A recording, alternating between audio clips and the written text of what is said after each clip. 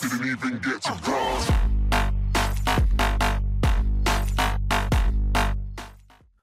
What up, everyone? Today I'm going to show you how to sample drums and how to assign those drum samples onto drum pads um, using FL Studio. So, the first thing you're going to need is obviously a MIDI keyboard with drum pads. The one I recommend is this one. It is the Akai MPK Mini MK2. Um, I recommend this because it's a great beginner's keyboard. Um, it's really simple and really easy to use and it's a hundred dollars. So you don't really need to go waste that much money on a keyboard that you don't really know how to use. And this is really easy to use. So I really recommend this keyboard. Um, it has 25 keys. It has the drum pads. It has this cool joystick for pitch bending. It's got these knobs right here. Um, and yeah, it's got different banks for your drum pads, so you can assign them lots of different sounds. So yeah, I recommend this keyboard because of how easy it is to use, and the price range. So anyway, let's get started. The first thing you're to need to do is to um, open up your sample that you are going to be sampling your drums from. So open up SliceX, which is the plugin that we're to be using to chop up the sample and to assign them to the pads. So in SliceX, go to this like floppy disk button and click it, and then click on load sample and then go to wherever it is on your computer that you have your sample and then just open it up. So I'll be using Use Me by Bill Withers. It's um a fairly popular well kind of. It's a fairly kind of popular drum break.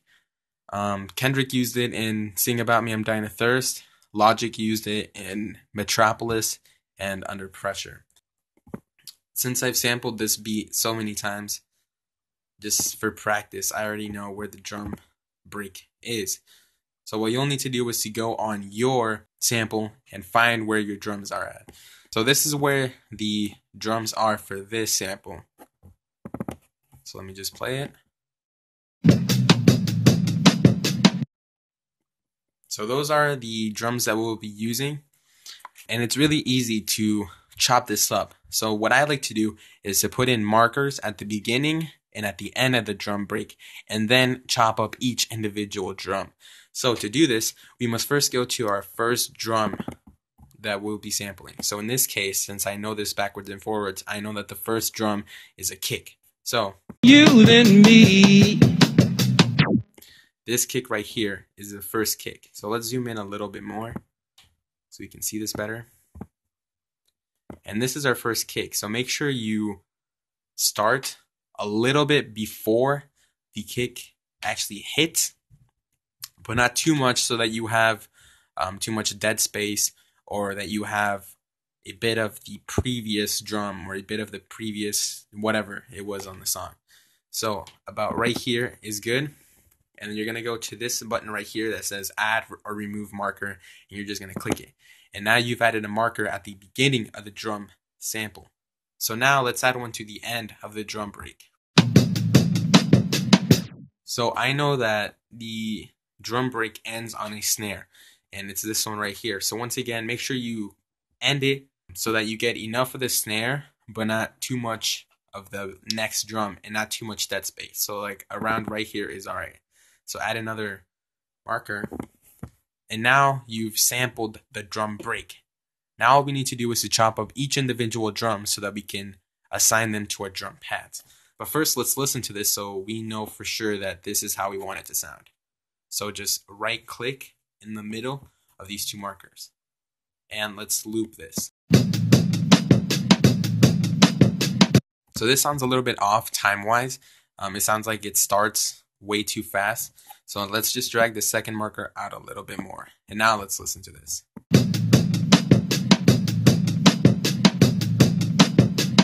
So now it's good.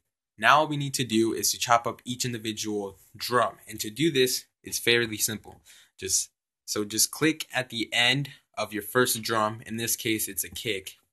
And let's take this off loop and add another marker. And now right click in the middle of the first and second marker and you have your first individual drum. So there's our first individual drum. It's a kick. Now all we need to do is to do the same thing for each individual drum. So in this case, the next drum would be a hi-hat. So double click at the end of the hi-hat and then add another marker. And now let's listen to this. And there's your hi-hat. So you have a kick and you have a hi-hat. Now we have another kick. So once again, double click at the end of that drum and then add a marker. Now let's listen to it. And then there's another hi-hat. Once again, double click at the end of that drum, add another marker, and listen to it. And now, just do this for the rest of the drums. So in this case, there would be a snare right here, another kick, a hi-hat, and a snare. So let me just do this off camera and I'll be back in a little bit. So now we have all our drums individually chopped. So here's our first kick, our first hi-hat, Here's our second kick, our second hi-hat, our first snare, our third kick, our third hi-hat, and our second snare. Now all we need to do is to assign them to our drum pads. So these are the drum pads. These things right here on your keyboard, these are the drum pads.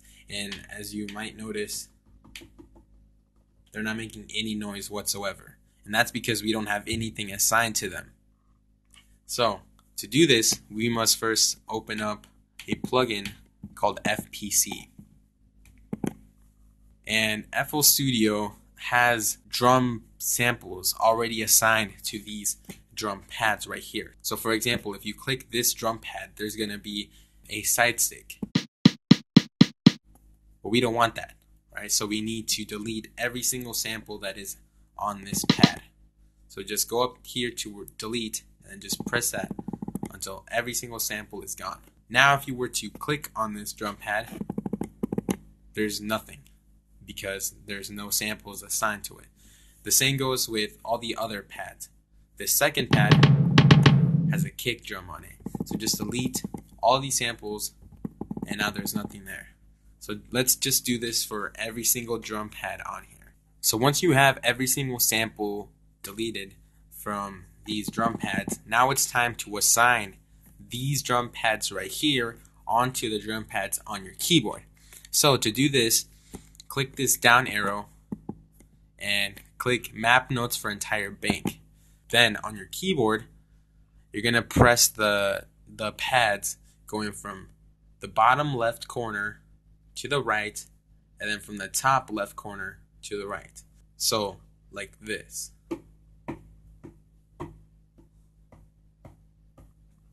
And now press this bank AB button and then do the exact same thing. Go from the bottom left to the right and then top left to the right. And now you have all these pads assigned to the drum pads on your keyboard. So now all we need to do is to put in the drum samples onto the drum pads.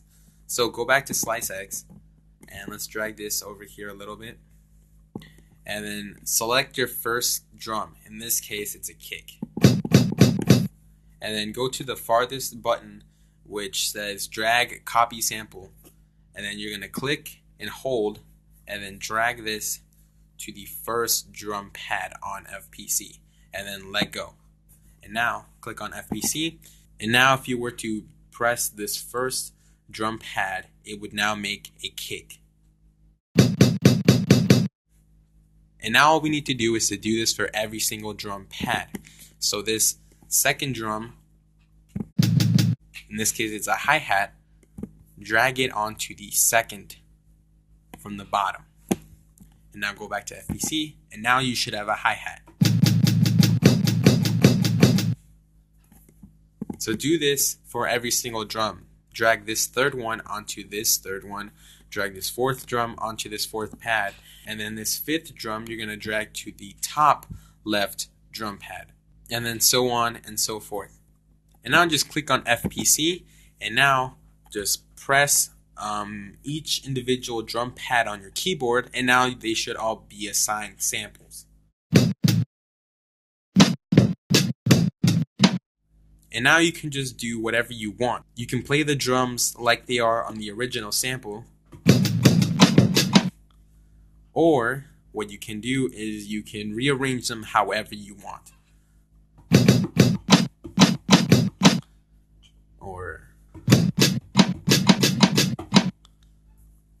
So yeah, that is how you chop up drums and assign them to your drum pads. It's a pretty easy thing to do once you get the hang of it. So yeah, that is the end of this video. If you like this video, please hit that like button, comment something. Um, if you think there's an easier way to do this, uh, please comment it. I would really like to know. But yeah, subscribe if you're new. And I'll see you guys next time. See ya.